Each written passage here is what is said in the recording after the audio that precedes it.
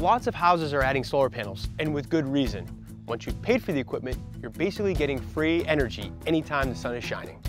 The panels convert the sun's energy into electricity. The more sun the panels get, the more power they'll create. Simple, right? But the roof can be a limiting place.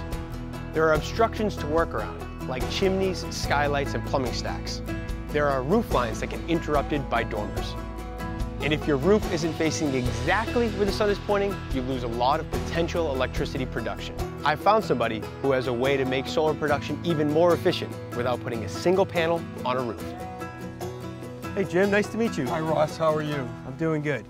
So you've been in the renewable energy industry a long time. Tell me about your background. Well, for the last 40 years, I've developed a range of renewable energy projects, including biomass, wind energy, and we've done a lot of ground-mounted and rooftop solar projects as well. Well, I've seen a lot of solar, but this one's unique. Tell me about it.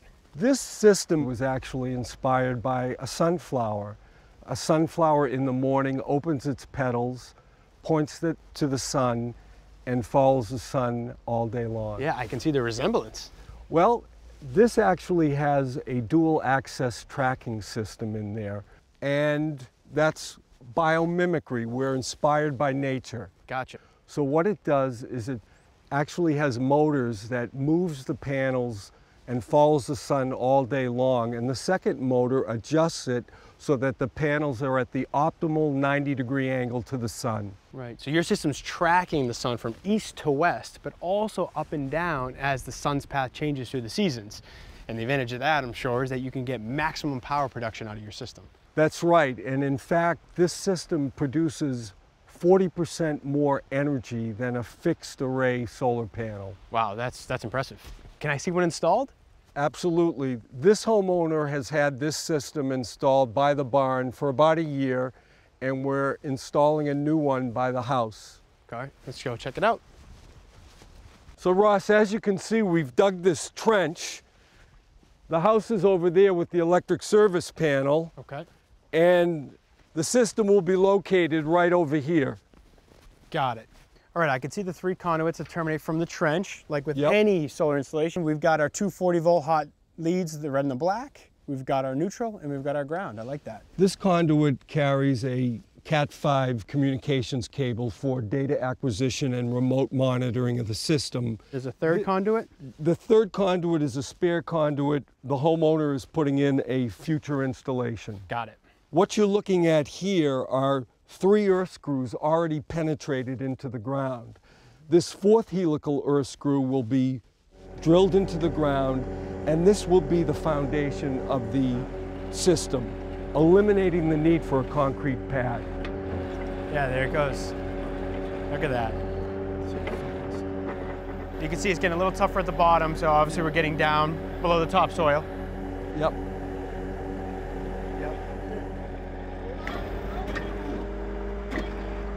Now we're ready to install the system on its foundation. So this flatbed truck is delivering the system. It comes fully assembled inside that crate. We'll use the crane to lift the unit up and place it on the ground. And then the loader will move it to the installation site.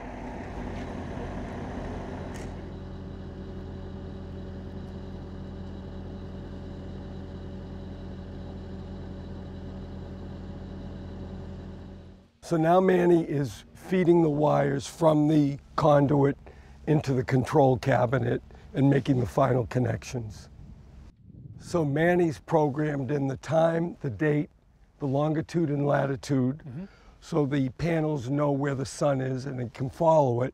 Now he's powering on the system and you can see the panels opening up and moving across the sky. Look at that. Wow, pretty cool. Jim, it is great to see both systems up and running. When we got it this morning, the first system that was installed was facing east, you know, to this direction. Now it's facing almost 180 degrees the opposite direction toward the barn. That's what dual axis solar energy tracking is all about. Following the sun from sunup to sundown to create maximum renewable energy production. One of the questions I do have to ask is, what does it cost? The system fully installed ranges around $30,000, but it depends on site-specific installation criteria. Okay. And it's rated at? It's rated at two and a half kilowatt hours, but because of the intelligent features, the dual axis tracking, the fact that it cleans itself, and the natural cooling ventilation, it's equivalent to a five kilowatt rooftop system. So it's pretty much at market rate. It is, and it also qualifies for a 30% federal investment tax credit, and many states around the country have state incentives for solar energy as well. And not to mention the local incentives too. Absolutely. But this is grid tied, right? It is grid tied, so that means that if the homeowner is producing more electricity than he consumes, that additional energy will go off to the grid, providing a credit for the homeowner. Right, and there are other options as well. There are other options. We have energy storage through a battery that's built right into the base of the system. So that same unit you saw would come in plug and play, allowing the homeowner to have battery storage. So that's great for off-grid applications or where you can't connect to the grid. Correct.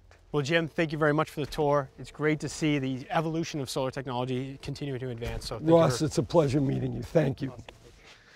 I gotta hand it to you, Ross. You bring us some good ideas, and that thing is cool looking. Although I'm thinking for my house, if I'm gonna put solar, I'm probably still just gonna put it on the roof, right? I mean, yeah. this is pretty cutting edge. I'm still all for solar on the roof. There's no doubt. If you get the right roof for it, that's where solar should go. Right. But if you don't have the right roof for it, this gives you another avenue, right? right? The fact that you can get more energy per square foot yeah. out of that system because it's dual axis tracking versus a fixed mount, there's something to be said about that. Yeah, I mean, it, it's working like a much larger fixed system, right? It's sort of sure. punching above its weight class, which is great. That's right. That's right. Although, again, you know, maybe I love the look, but if I put it in my little backyard, my neighbors might not like the look either. Is it really yeah. residential friendly? Yeah. So I mean, it might fit in a residential setting, you know, in a small backyard, but might not.